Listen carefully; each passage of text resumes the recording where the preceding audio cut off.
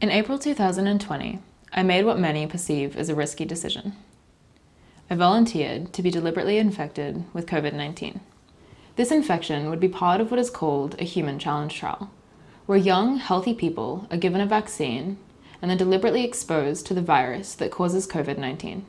These trials help researchers figure out more quickly if a vaccine is working. I think this research is crucial because today I'm going to speak to you for six minutes. In that time, roughly 1,250 people will be confirmed infected with COVID 19. 21 people will die. And then this pattern will repeat, hour after hour and day by day, until we're able to vaccinate most of the 8 billion people affected by this global crisis. Scientists have been working around the clock to make those vaccines a reality. But what should we do when the human cost of waiting for those vaccines is rising by the day? This is where human challenge trials come in.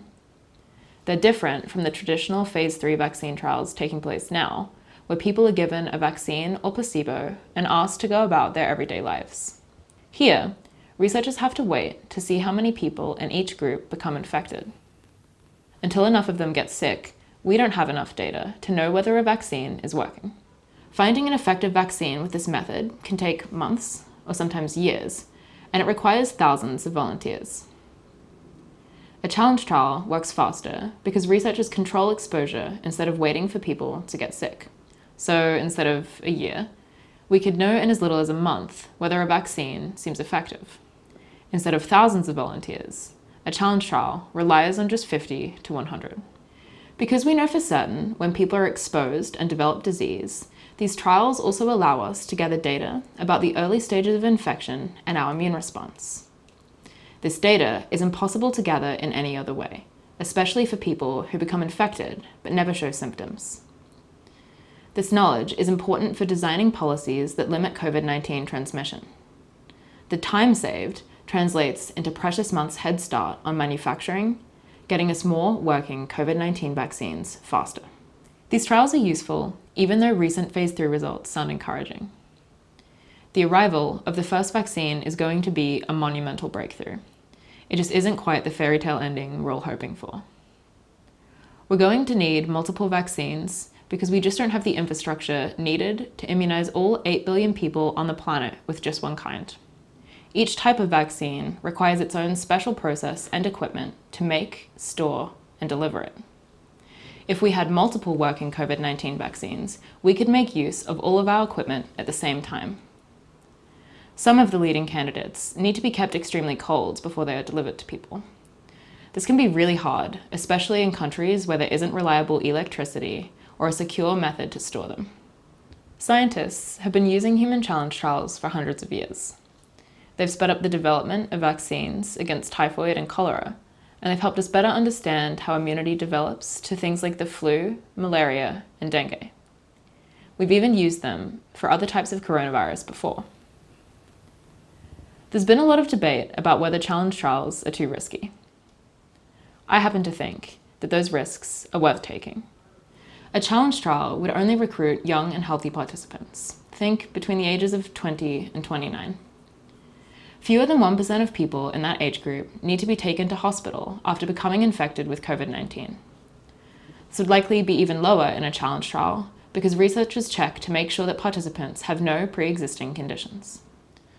The risk of a young healthy person dying of COVID 19 is around 5 thousandths of a percent. That means for every 100,000 20 year olds who become infected with COVID 19, about 5 die.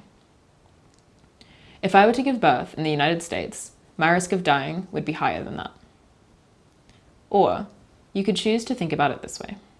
If my little sister needed a kidney, I wouldn't hesitate for a moment before I offered her mine. And if I can take on that risk to benefit a loved one, it makes sense to allow people to take on a similar risk, to speed up the development of a vaccine that would benefit not just their loved ones, but everyone around them as well.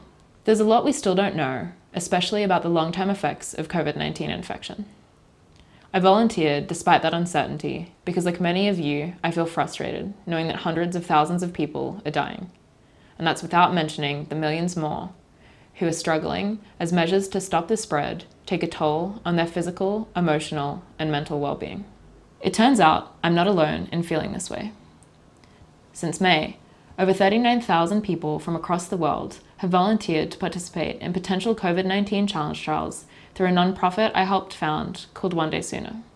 We advocate for challenge trial participants and have been encouraging stakeholders to begin preparing for these trials. As early as May, when challenge trials were still being considered for their role in the fight against COVID 19, the World Health Organization cited One Day Sooner as an example of the kind of public engagement needed to run a challenge trial. In mid October, the UK government formally announced their intention to conduct a challenge trial at the beginning of 2021. It is clear that the COVID 19 pandemic is a global crisis. It has inspired record shattering innovation, and it has highlighted the heroic acts of many frontline workers, but it has also taken a catastrophic toll. The arrival of each new vaccine brings us one step closer to rebuilding. But the true global solution lies in those vaccines being in the hands of people all over the world. Challenge trials could be a part of that solution. Thank you.